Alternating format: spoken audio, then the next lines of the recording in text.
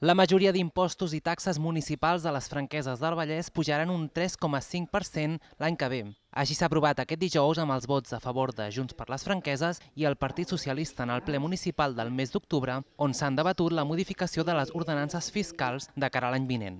Alguns dels impostos als quals afectarà aquesta pujada són els de béns immobles, activitats econòmiques i increment de valor dels terrenys de naturalesa urbana. Pel que fa a les taxes, s'incrementen les del cementiri, concessió de llicències, subministrament d'aigua i ocupació de la via pública, entre d'altres. I també apujaran preus públics com el de la prestació del servei d'atenció domiciliària. El govern ha justificat l'increment dels impostos i taxes municipals pels costos extraordinaris que tindrà l'Ajuntament l'any que ve.